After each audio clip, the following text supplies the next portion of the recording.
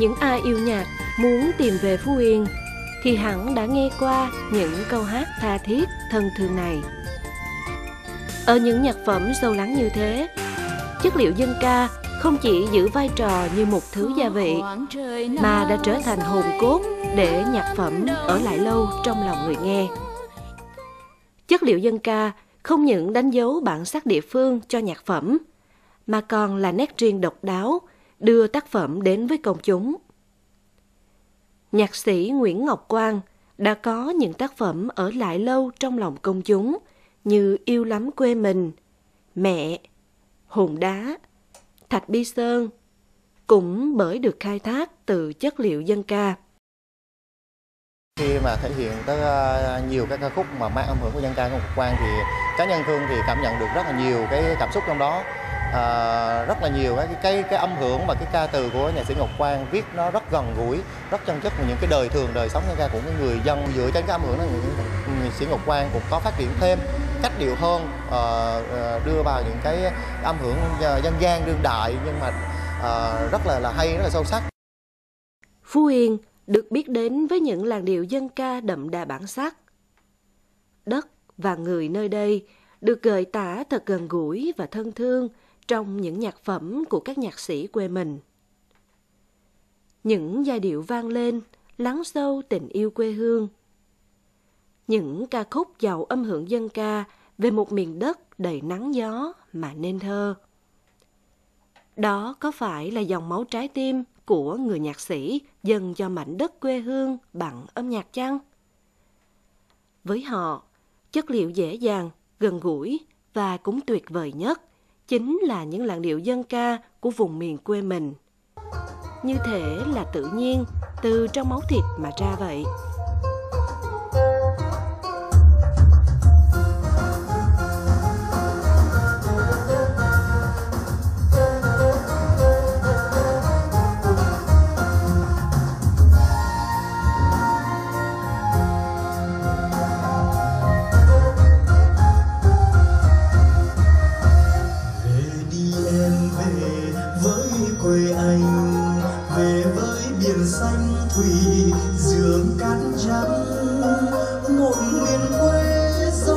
giao trường về đây nghe, biển xanh du đêm đêm. Đi em về với quê anh, về với đồng xanh để nghe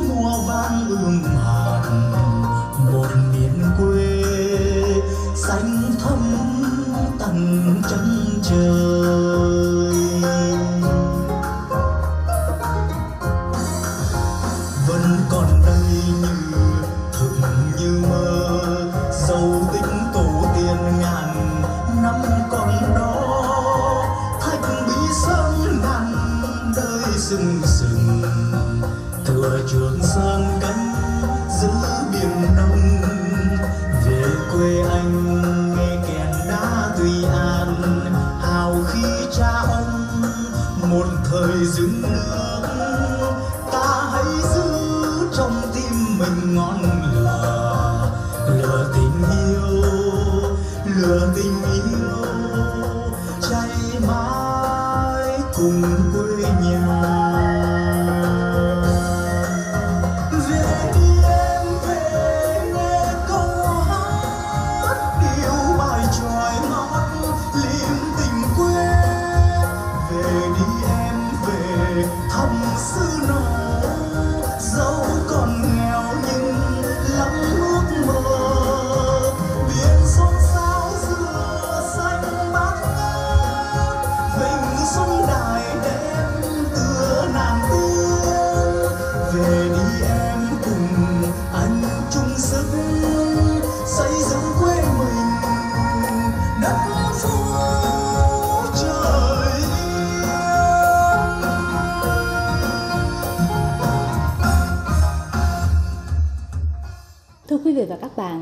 Nhạc sĩ, nghệ sĩ ưu tú Nguyễn Ngọc Quang là người con của quê hương Tuy An. Ông nguyên là chủ tịch Hội Văn học Nghệ thuật tỉnh Phú Yên cho đến lúc nghỉ hưu vào cuối năm 2015. Có thể nói, đến hôm nay, ông là nhạc sĩ sáng tác sung sức nhất ở Phú Yên với gia tài khoảng 300 ca khúc. Trong đó, phần nhiều là những ca khúc viết về quê hương Phú Yên. À, vâng, xin cảm ơn nhạc sĩ Ngọc Quang đã dành thời gian cho chương trình văn học nghệ thuật của Đài Phát thanh và Truyền hình Phú Yên. À, thưa anh, à, nếu như trước kia nhắc đến Ngọc Quang là người ta nghĩ ngay đến ca khúc Yêu lắm quê mình. Còn à, sau này thì anh có thêm nhiều nhạc phẩm được yêu thích, khai thác chất liệu dân ca. Kim Chi cũng như nhiều người yêu mến nhạc của Ngọc Quang thì thích nhất là ca khúc Về Phú Yên quê anh đi em qua phần trình bày của ca sĩ Quang Thơm. À, bài hát mang giai điệu rộn ràng, da diết làm cho người nghe cảm thấy càng tự hào về Phú Yên quê mình, đúng không ạ? Bài hát này khi mà được ờ, ờ, phổ biến thì phải nói nói chung là rất nhiều người yêu thích. Bởi mấy lẽ một là cái chất liệu của bài hát này là mình sử dụng chất liệu bài tròi của Nam Trung Bộ, trong đó có Phú Yên được viết. Âm hưởng các làn điệu dân ca của Nam Trung Bộ, do đó nó dở đến với mọi người. Thứ hai nữa là viết về, nói về một lời mời hết sức là gia diết ngọt ngào của những con dân Phú Yên, đã mời những người đến đến, khác đến Phú Yên. Một lời mời hết sức là ngọt ngào và đầy chất âm nhạc. Thành thử là khi bài hát này ra đời thì rất nhiều người yêu thích. Rất nhiều người cũng có có nhiều người hát thành công trong đó. Và trong đó số đó thì có ca sĩ Văn Thơm của nhà hát ca nhạc Rau Biển là một trong những người hát thành công. Và bài hát này được tham gia cái liên hoan âm nhạc của hội nhạc sĩ Việt Nam tổ chức hàng năm cũng được được giải B. Và rất rất nhiều bạn bạn bè rồi người, người yêu ca hát là sử dụng bài hát này. Và phải nói đây là một một trong những bài hát mình tâm huyết. Nó cũng gần như là yêu đất của mình vẫn sử dụng chất liệu quê hương để nói lên được cái tình cảm lòng mến khách của người dân Phú Yên đối với những người mà muốn có chưa có dịp nào đến với Phú Yên. Thì đây là một có thể nói một lời mời bằng âm nhạc rất tình cảm rất chân thật và đồng thời rất tha thiết. Và tôi nghĩ rằng người nghe chắc chắn rằng sẽ họ sẽ có sẽ chạm được trái tim cho người nghe. Thưa anh à, sau khi nghỉ hưu đến giờ thì anh có phần trẻ ra à? à, và Kim Chi à, cảm thấy dường như anh càng hăng say hơn trong sáng tác khi mình nghỉ làm việc thì mình có thời gian nhiều hơn để đầu tư sáng tác. Và thời trong nhiều mấy chục năm qua làm công tác nhà nước đấy là cái nhiệm vụ xã hội giao mình. Khi mình hoàn thành nhiệm vụ xã hội rồi thì giờ tập trung vào cái, cái niềm đam mê của mình. Và cái niềm đam mê này nó không phải mới có mà nó có từ lúc còn bé sự đam mê của mình. Mình vẫn đeo đuổi mãi và bây giờ là cái cơ hội tốt nhất để mình thể hiện niềm đam mê đó để mình cho ra đời những cái bài hát mà mình đã từng nung nấu từng trải ôm ấp nó, thì đây là cái dịp. Và chính vì thế nhiều người cứ nói là tại sao mà qua khi về nghĩ rồi thì viết nhiều hơn viết sung sức hơn.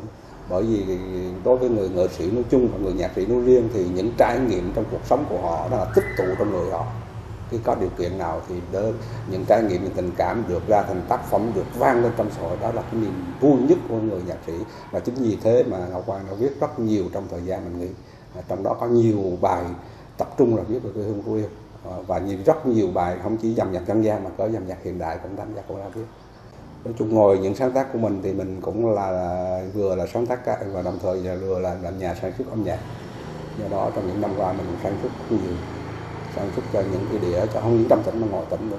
Ví dụ như kiên giang đồng tháp hoặc là các cái nhạc sĩ của các tỉnh bạn. À, gần đây thì năm vừa rồi thì làm cái đĩa uh, CD và DVD cho huyện Tuy An gồm 10 bài hát về quê hương Tuy An. Thì trong đó thì mình cũng có năm sáu bài. À, rồi làm cái đĩa cho sở văn hóa cho thao du lịch nói chung thì ờ, mình không chỉ làm cái nhiệm vụ sáng tác họ âm Phú Ký mà còn làm cái nhiệm vụ là sản xuất âm nhạc. Bởi vì suy cho cùng cuối cùng tác phẩm âm nhạc khi muốn đến được công chúng thì phải qua có sản phẩm thì nó mới đến công chúng và được phổ biến rộng hơn. Thì phải nói là thì nghĩ nhưng mà thời dành rất nhiều thời gian để sáng tác và để sản xuất âm nhạc để phục vụ cho cái nhu cầu ca hát cũng như là quảng bá đất nước của người Phú Yên thì đấy là một trong tập trung làm trong những năm qua nhất là những năm mình nghỉ những người yêu nhạc ở Phú Yên đã quen thuộc với những ca khúc trữ tình về quê hương của nhạc sĩ Ngọc Quang. Anh cũng đã thành công với nhạc phẩm mạnh mẽ như an khúc Lệ Chi Viên à, khi khai thác chất liệu ca trù. Vậy có bao giờ anh nghĩ mình còn thử sức với nhạc trẻ sôi động ạ? À? Thực tế ra thì viết về dòng nhạc trẻ thì không phải là khó lắm đâu. Viết nhạc trẻ thì mình cũng đã, đã từng viết rồi. Nếu mà chiến có thời gian mình nghĩ là có thời gian nào đấy mình cũng dành ra một dành một cái phần ở thời gian này đã tập trung viết vào nhạc trẻ để cho cái giới trẻ phục vụ cho cái giới trẻ là rốt và thực tế thì đã có như viết gần đây cũng có mấy bài viết về nhạc trẻ dành không chỉ giai trẻ điệu trẻ mà các nội dung cũng trẻ thì cái điều đó có nhiều còn có người lớn tuổi không thể viết nhạc trẻ được đó điều không phải đâu. Bởi người lớn tuổi họ cũng đã trải nghiệm từng sống qua giai đoạn trẻ. Họ chưa biết được thì bây giờ nó đã tích tụ bây giờ chỉ cần chạm vào thì nó sẽ tuôn ra thôi chứ không có gì khó khăn Vâng, trong nhiều năm qua anh vẫn miệt mài với những giai điệu cho quê hương. À, vậy trong thời gian tới anh có thể chia sẻ đôi nét về dự định của mình? Ngay từ đầu và cho đến khi vô phút giờ mà có nghĩ là sắp tới mình cũng nghĩ rằng mà có lẽ chắc cũng là đồng tình đồng tình với rất nhiều nhạc sĩ khác đó là gì quê hương và những làn điệu quê hương dân ca quê hương đó là cái nôi đó là nguồn cảm hứng và đó là chất liệu để mà sáng tác ra những tác phẩm mới. Ngay tác phẩm của Ngọc Quang sáng tác trong nhiều năm qua mà trong đó có những tác phẩm đạt giải thưởng cao. Có những tác phẩm được công chúng phổ biến rộng rãi như yêu lắm của mình hoặc về phú yêu mưa em này nọ. Thì tất cả dẫn những bài đó cũng xuất phát từ những làn điệu quê hương từ những cái mạch nguồn cảm xúc về quê hương của mình. À, chứ không phải gì xa lạ ngây gớm lắm. Ngay ôn khúc lời chuyên viên còn lại lấy chất liệu ca trù dân gian để mà phát triển nó lên thành một cái ca khúc hoàn chỉnh. À, thành thử là hướng sắp tới mình cũng bắt guồng và bám cội rỡ vào cái nền âm nhạc ca nhạc của của của, của Phú hiệp nói riêng nói riêng và cả miền Nam Trung Bộ này nói chung để mình mình phát triển mà cụ thể là từng đại điệu dân ca những đại điệu bài tròi những đại điệu tuồng. Ví dụ hòn đá phía trong đầu tuồng học về Phú Yên của anh là cái điệu dân ca bài tròi đấy thì đấy là cái chất liệu mà có nghĩa cái, cái, cái kho tàng này mình khai thác khó bao giờ mà hết được. Nếu chúng ta biết khai thác Vâng, à, chắc chắn rằng à, với nhiều sắc màu trong những nhạc phẩm của nhạc sĩ Ngọc Quang, quê hương Phú Yên sẽ được nhiều người biết đến hơn và thêm yêu mến vùng đất này. Xin cảm ơn anh với buổi trò chuyện hôm nay. Nhạc sĩ, nghệ sĩ ưu tú Nguyễn Ngọc Quang, sinh năm 1955, là người con của quê hương Tuy An. Ông có một thời gian gắn bó với mảnh đất Sơn Hòa trong vai trò trưởng phòng văn hóa thông tin huyện trước khi nhận nhiệm vụ trưởng đoàn ca múa nhạc sao biển, phó giám đốc, rồi giám đốc Sở Văn hóa Thể thao. Sau đó là Chủ tịch Hội Văn học Nghệ thuật Phú Yên cho đến lúc nghỉ hưu vào cuối năm 2015. Có thể nói, ông là nhạc sĩ sáng tác sung sức nhất ở Phú Yên, với gia tài hơn 300 ca khúc. Các nhạc phẩm của ông được dàn dựng thành nhiều chương trình nghệ thuật đặc sắc phục vụ người yêu nhạc trong và ngoài nước. Nhạc sĩ Ngọc Quang có nhiều tác phẩm đạt giải cao trong các cuộc thi sáng tác do các hội ngành trung ương tổ chức. Thật ra mà nói thì cái bài hát này mình diễn rất là nhiều lần. Kể cả xa có khi lại gần. Nói chung là đi à, về tất cả các vùng nông thôn mình vẫn được diễn bài này. Nhưng mà à, với à, Quang Thơm thì bài này là một cái bài rất là ấn tượng. Về ca từ của nhạc sĩ Ngọc Quang viết ra rất là hay, rất là mượt mà và gần gũi với lời người nghe. Thì um, cảm giác của mình mỗi lần cứ đi diễn bài này thì mình thấy nó mang một cái chất gì đó vui yên rất là vui yên rất là nóng thì à, hy vọng cái bài này thì cũng là một cái bài mà để cho tất cả các à, người con người dân phú yên nghe và một khi đi xa cũng như là một khi ở gần thì đón nhận cái bài này cũng như là à, đón nhận nhạc sĩ ngọc quang với lại là quang thơm để cho tiếp thêm nhiều sức mạnh để cho anh quang với là thơm có nhiều tác phẩm mới hơn nữa. Cũng có rất nhiều người là là nói là bài này là nghe rất là gần gũi, rồi giống như là một cái lời mời của tất cả những người khách ở phương xa, họ đến Phú Yên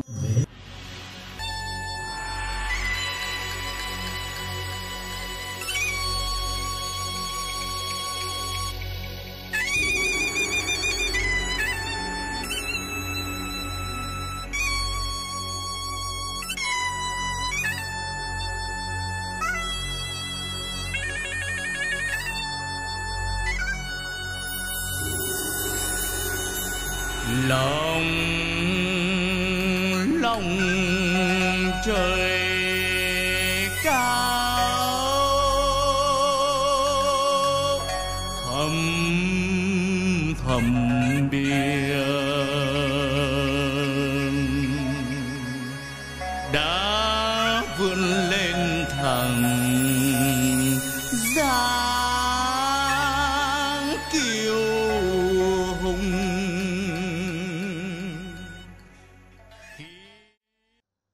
Trong chuyến thăm huyện đảo Trường Sa, tỉnh Khánh Hòa vào năm 2014, ông đã kịp cho ra đời bốn đứa con tinh thần và được các nhạc công, diễn viên, nhà hát ca múa nhạc dân gian sao biển dàn dựng, biểu diễn phục vụ các chiến sĩ ngay tại đảo. Năm 2016, nhạc sĩ Ngọc Quang ra mắt công chúng CD và tập ca khúc Thương lắm Trường Sa ơi, gồm 10 bài hát về biển đảo và người lính. Đây là món quà đầy ý nghĩa của một nghệ sĩ Phú Yên gửi tặng những người đang làm nhiệm vụ thiêng liêng nơi tuyến đầu của Tổ quốc. Đến thời điểm này, có lẽ nhạc sĩ Ngọc Quang là nghệ sĩ Phú Yên sáng tác nhiều tác phẩm về Trường Sa nhất. Có thể nói Ngọc Quang là cái người ờ, sáng tác không biết mệt mỏi. Ừ, năng lượng là vô cùng. Có những lúc, ờ, theo tôi biết thì có lúc ờ, nhạc sĩ Ngọc Quang trong một tháng có thể sáng tác được vài tác phẩm. Và hầu hết các tác phẩm đó đều có sức lan tỏa với công chúng, với người nghe trong tỉnh. Ngọc Quang có cái ờ, khác với những nhạc sĩ khác ở trên ờ, địa bàn Phú Yên là các cái tác phẩm của anh ấy. Lúc nào khi cho ra đời đều được ờ, công chúng rất là hưởng ứng đặc biệt là cái sức lan tỏa. Các tác phẩm Ngọc Quang cũng không phải là cái gì nó cao siêu lắm nó không phải cái gì nó nó phức tạp lắm nó rất là đơn giản dung dị mộc mạc nhưng mà cái sức lan tỏa thì phải nói sức lan tỏa và tầm ảnh hưởng phải nói là, là rất lớn đối với công chúng Ngọc Quang cũng là một trong số ít cái nhạc sĩ Phú Yên mà có tác phẩm được khán giả không phải là người Phú Yên biết đến.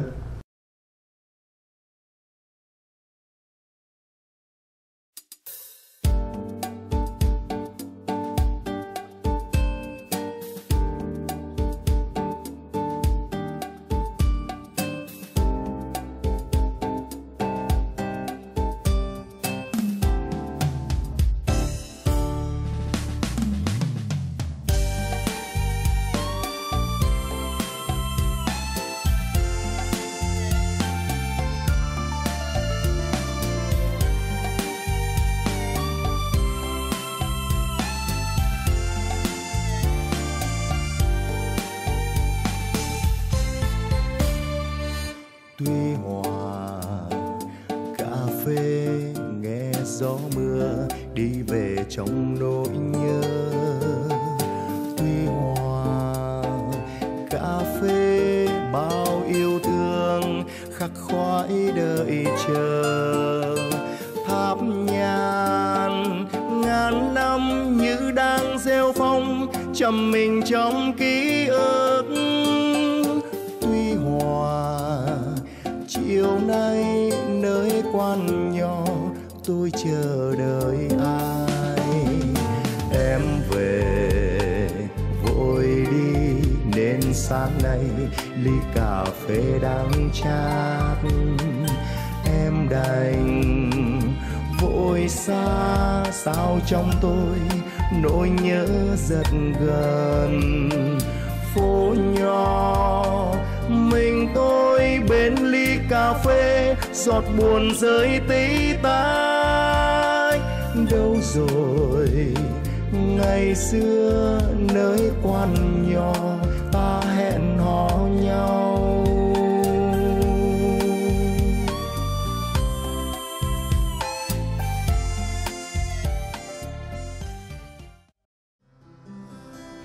Văn hóa của vùng đất được thể hiện qua âm nhạc bằng ca khúc của người nhạc sĩ đầy nhiệt huyết này.